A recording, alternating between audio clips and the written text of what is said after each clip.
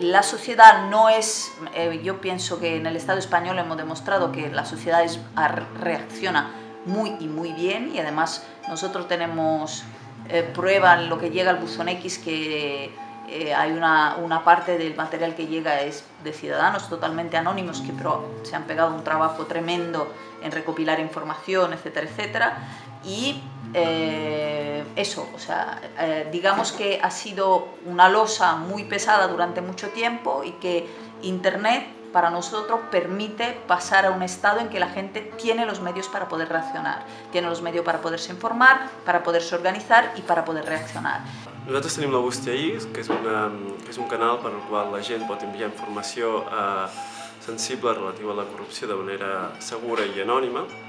I després aquesta informació que arriba, la Bústia X, tenen, eh, la gestiona un equip que tenim eh, nosaltres de, de, de premsa, eh, de col·laboradors de premsa i també i, i també advocats, que són els únics que poden tocar la, la, aquesta informació. En el buzón X eh, están llegando informaciones sensibles eh, de forma anónima y protegida de muchos ciudadanos para poder seguir este trabajo anticorrupción eh, que estamos articulando entre el caso Bankia y muchos otros casos con los que participamos. Ells l'analitzen primer, el nostre equip, i, i, i, de, i després també la treballem junt amb nosaltres i veiem què hi ha d'interessant uh, o, o que, perquè clar, molta gent uh, envia informació i a vegades uh, sí que hi ha proves o a vegades és gent que només diu ostres, pues, uh, jo sé d'aquest cas de corrupció però clar, no, no hi ha proves o no, o no ha cap no hi ha per on agafar-ho llavors clar, no podem tractar tots els casos, sinó realment els casos que,